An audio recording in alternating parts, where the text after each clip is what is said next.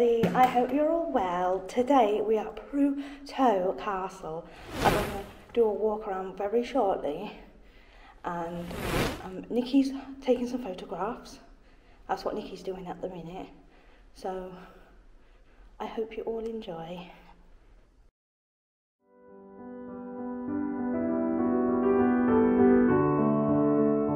Prudhoe Castle is a ruined medieval English castle situated on the south bank of the River Tyne at Prudhoe, Northumberland, England.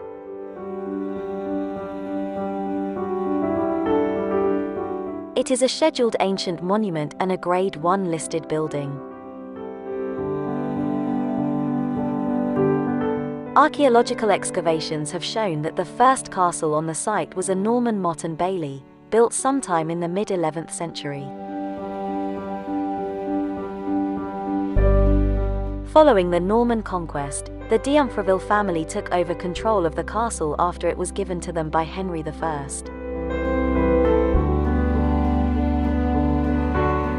Robert d'Umfreville was formally granted the barony of Prudhoe by Henry I, but it is likely that the d'Umfrevilles had already been granted Prudhoe in the closing years of the 11th century. The d'Umfrevilles, probably Robert, initially replaced the wooden palisade with a massive rampart of clay and stones and subsequently constructed a stone curtain wall and gatehouse. In 1173 William the Lion of Scotland invaded the northeast to claim the earldom of Northumberland. The head of the d'Umfreville family, Odinel II, refused to support him and as a result the Scottish army tried to take Prudhoe Castle.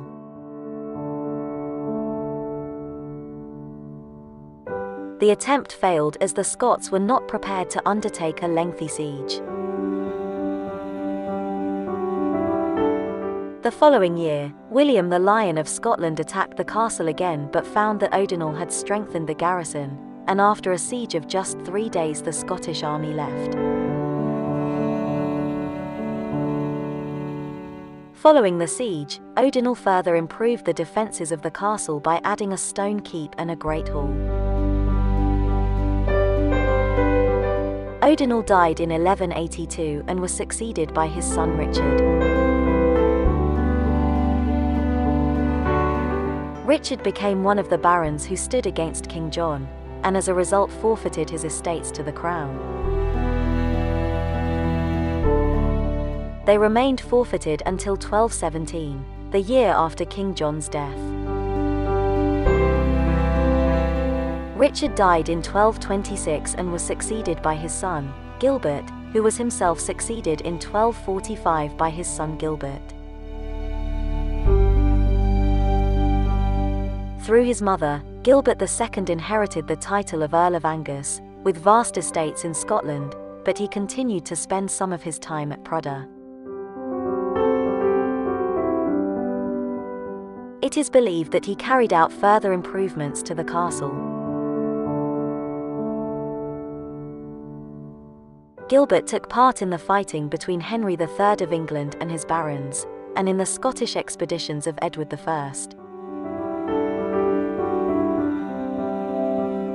He died in 1308 and was succeeded by his son, Robert d'Umfreville IV. In 1314, Robert was taken prisoner by the Scots at Bannockburn in Scotland, but was soon released, though he was deprived of the earldom of Angus and of his Scottish estates.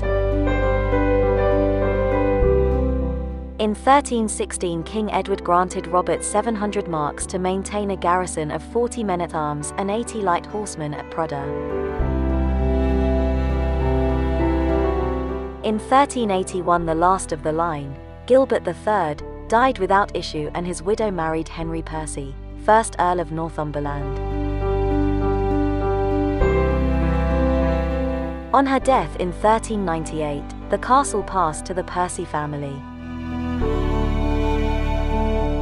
The Percys added a new great hall to the castle shortly after they took possession of it.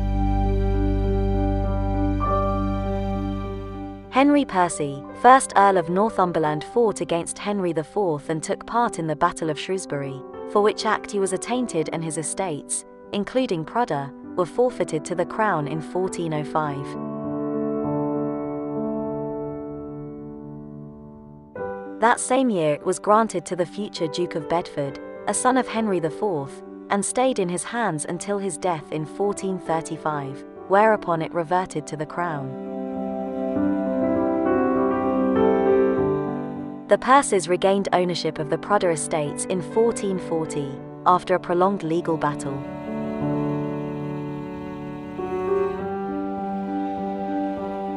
Henry Percy, 3rd Earl of Northumberland fought on the Lancastrian side in the Wars of the Roses and was killed at the Battle of Towton in 1461.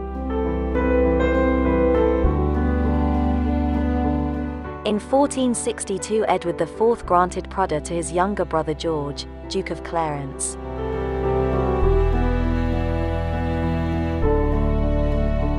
The latter only possessed the castle briefly before the king granted it to Lord Montague. The castle was restored to the fourth Earl in 1470. The principal seat of the Percys was Alnwick Castle and Prudhoe was for the most part let out to tenants. In 1528 however Henry Percy 6th Earl was resident at the castle as later was his brother Sir Thomas Percy.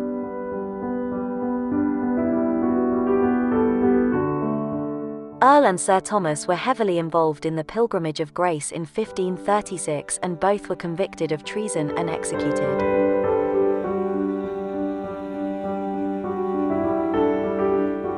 Following forfeiture of the estates the castle was reported in August 1537 to have habitable houses and towers within its walls, although they were said to be somewhat decayed and in need of repairs estimated at £20.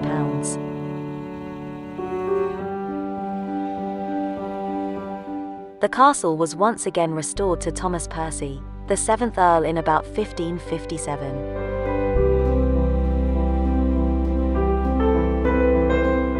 He was convicted of taking part in the Rising of the North in 1569. He escaped, but was recaptured and was executed in 1572. The castle was thereafter let out to many and various tenants and was not used as a residence after the 1660s.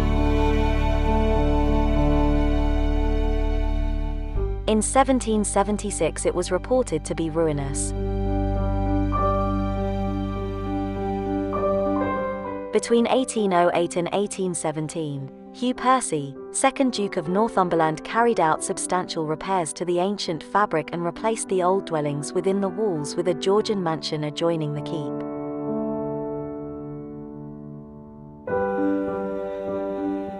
In 1966 the castle was given over to the Crown and is now in the custody of English Heritage and is open to the public.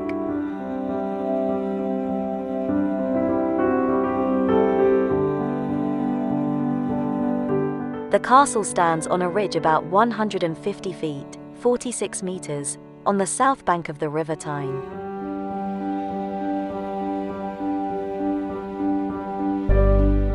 It is partly enclosed by a deep moat.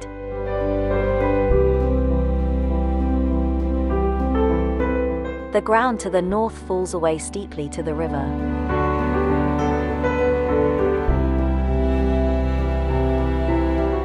The castle entrance is on the south side and is flanked by a mill pond on the left and a ruined water mill on the right.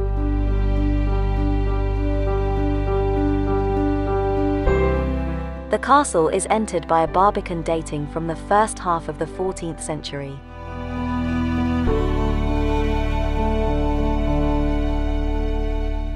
The gatehouse, dating from the early 12th century, leads into the outer ward, which contains the remains of several buildings.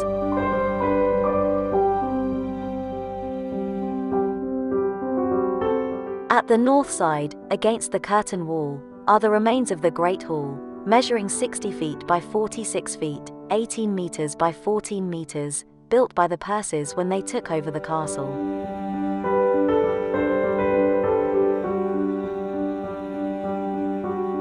At the end of the 15th century, a new hall was built to the west to replace the existing one.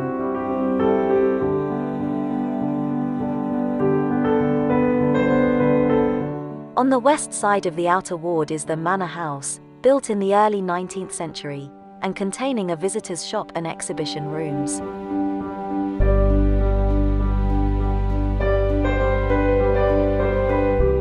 At the south end of the manor house is a gateway leading into the inner ward.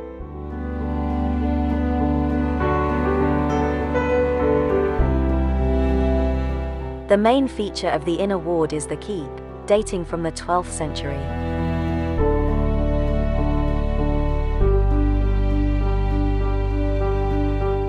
The keep has walls 10 feet, 3.0 meters, thick and its internal dimensions are 20 feet by 24 feet, 7.3 meters by 6.1 meters.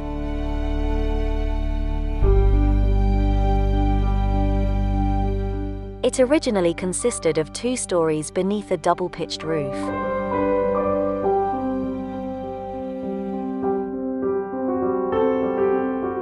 Prudhoe Castle was a civil parish. In 1951 the parish had a population of 1,005.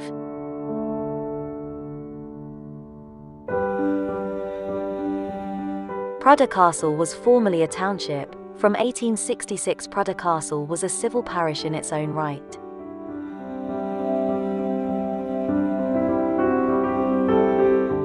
Until it was abolished on the 1st of April 1974 and merged with Prudhoe.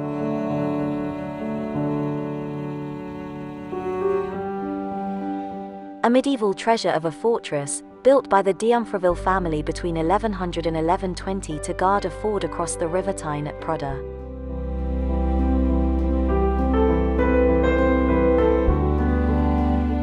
The castle has been in continuous use for over nine centuries.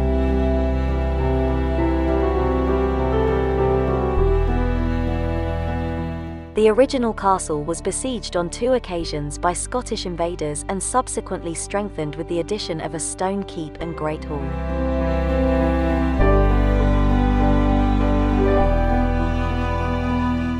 The castle was enlarged in 1300 with the addition of two guard towers.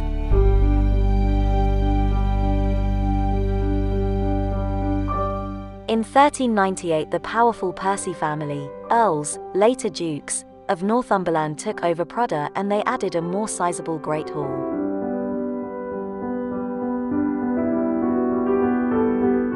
Unlike many medieval fortresses, which were allowed to fall into disrepair when their defensive uses faded, Prudhoe was continuously occupied and was refurbished in the Victorian period to produce a comfortable Gothic revival house, occupied by the second Duke of Northumberland's land agent.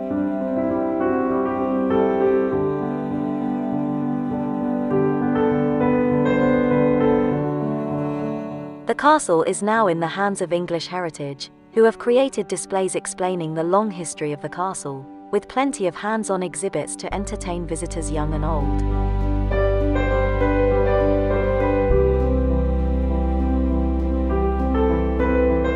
Prudhoe was one of a string of Norman castles erected along the Tyne, beginning shortly after the conquest, around 1095 AD.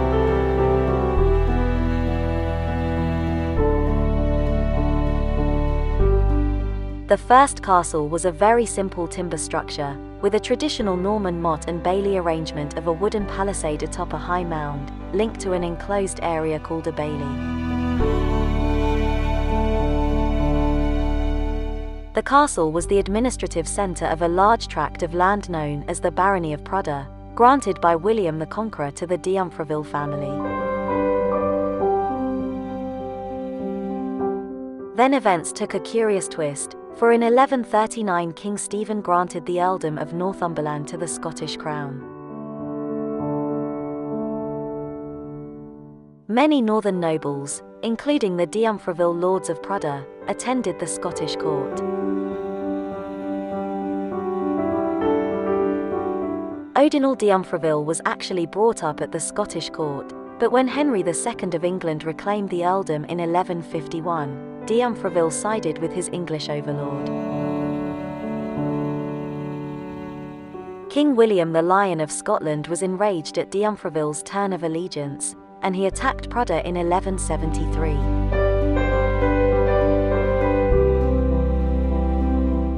He was beaten off but returned again in 1174.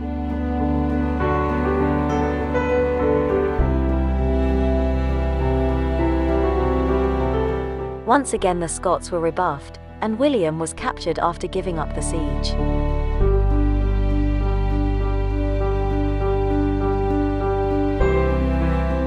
Interestingly, we know a lot about the first siege, which was witnessed by Jordan Fantosme, clerk to the Bishop of Winchester.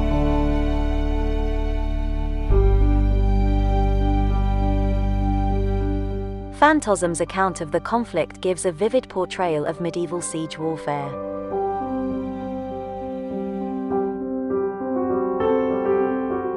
In the late 13th century Prudhoe housed Scottish prisoners awaiting ransom.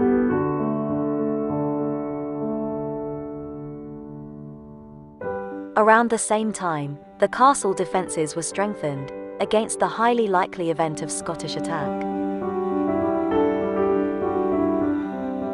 When the last male heir of the de Umfreville family died in 1381 the first Earl of Northumberland, Henry Percy, married his widow Matilda, herself one of the largest landowners in the north.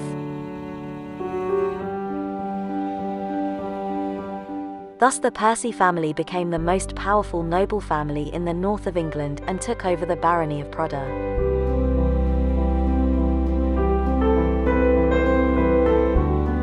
The Percys rebelled in 1405 and Henry IV granted the estates to his brother John, Duke of Lancaster.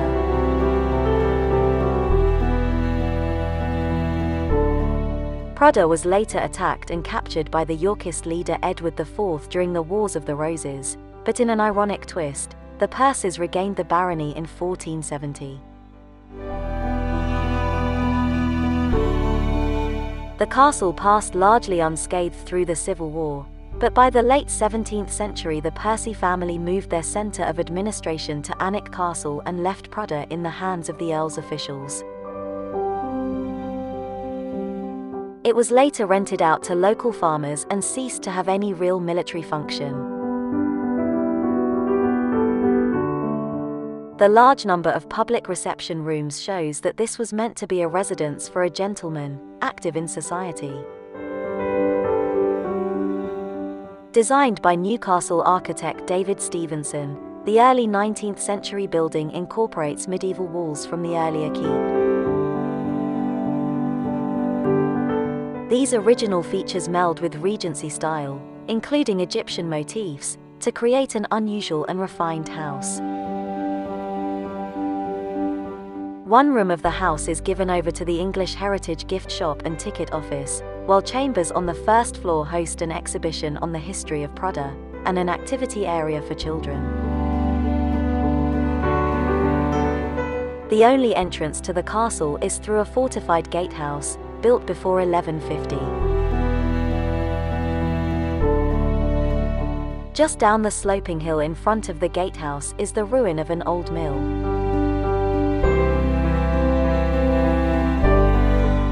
Though the ruined building we see now dates from the 18th century, there has been a mill on the site since the medieval period.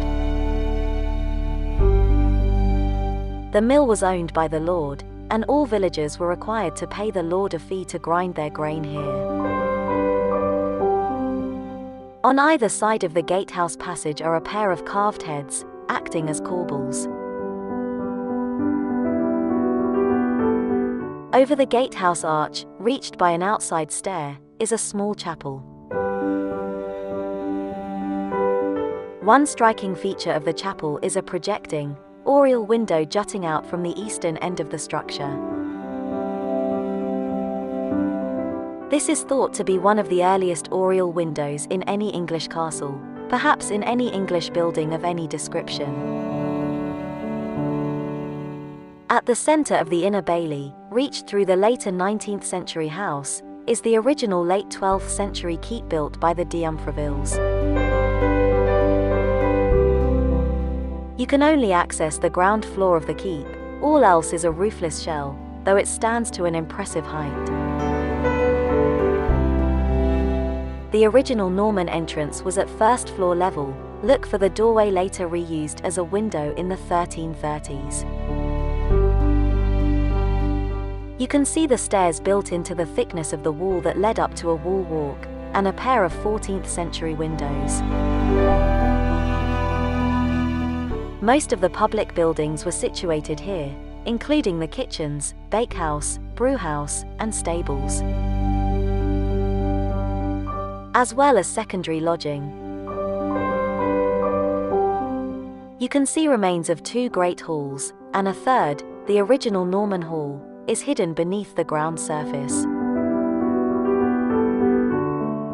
In the 15th century, a new rectangular hall was built, but this was torn down in the 16th century when Prudhoe ceased to be so important to the Percy lords, and was replaced by a smaller hall. You can see the foundation walls of this smaller building within the outline of the earlier Percy Hall. There is a trail around the outside of the motte which gives you a very good look at the quite amazingly well-preserved outer walls of the castle, and you can enjoy the later terraced garden reached from the gatehouse walk. One unexpected pleasure is a prehistoric cup and ring marked stone on display in the outer bailey. This was found reused in the foundation of a medieval outbuilding. Prudhoe Castle is located off the A695, head uphill, away from the river, and there is a small parking area, free for visitors. I really enjoyed the castle, it is more impressive than many, more famous medieval fortresses, and has an intriguing history. It is fascinating to see a castle that was not simply left to crumble into ruin but was adapted and used for different purposes throughout its history. Prudhoe Castle was once the undoing of a king. The first castle was built here in about 1095 by Robert de Umfreville as the centre of the barony of Prudhoe, and to control a crossing over the River Tyne. But ownership of the borderlands between England and Scotland was frequently contested by the two countries, and Prudhoe was dragged into the dispute during sieges in 1173 and 1174. In 1139 King Stephen of England granted the earldoms of Northumberland and Cumberland to David I of Scotland and his son Prince Henry to keep the peace along the border. The northern English barons often visited the Scottish royal court, and there were marriages between noble families on opposing sides of the border. But Henry II reclaimed the earldoms in 1157, going back on his oath to David I and kicking off generations of conflict. Robert's son, Odinel de Umfreville, had been brought up at the Scottish court, but had married the daughter of the English justiciar and was loyal to Henry.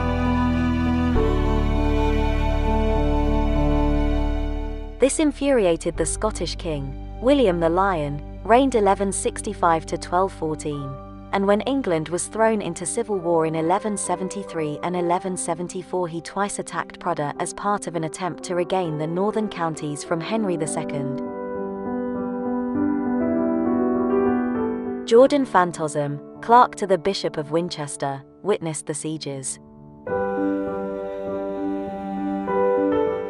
In 1173 he tells us that the King of Scotland had his pavilions, his tents, and his marquees pitched there, and his earls and barons assembled. And he said to his noblemen, My lords, what shall we do? As long as Prudhoe stands we shall never have peace. William left to besiege Carlisle Castle and returned the next year with Flemish and French mercenaries swelling his ranks. Odinel had been warned and had stocked up on provisions, and he slipped out to gather reinforcements to lift the siege. William's men destroyed the castle's farms and orchards, but could not take the castle. He left after three days, but on his way to Alnwick, Odinel, and 400 knights with shining helmets and sharp lances caught up with him. William was captured and imprisoned. In return for his release he had to hand over his castles to the English crown, and pay homage to Henry II. Today you can enjoy explore the keep, Great Hall and the towered walls that now enclose a Georgian mansion. Sometime in the 11th century, Prudhoe Castle was built on the south bank of the River Tyne in the English county of Northumberland. The head of the family, Odinel II, refused to support William the Lion of Scotland's claim to the earldom of Northumberland. The Scottish army attempted to take the castle, but the attempt failed. William tries to retake the castle but leaves after a failed siege of three days. The keep is located at the center of the Inner Bailey and is still standing today. However, only the ground floor is accessible, and the roof is no longer visible. As the original Norman entrance was located on the first floor, the doorway can still be seen. This doorway was repurposed into a window in the 1330s. The original Great Hall is no longer visible, though it's hidden beneath the ground.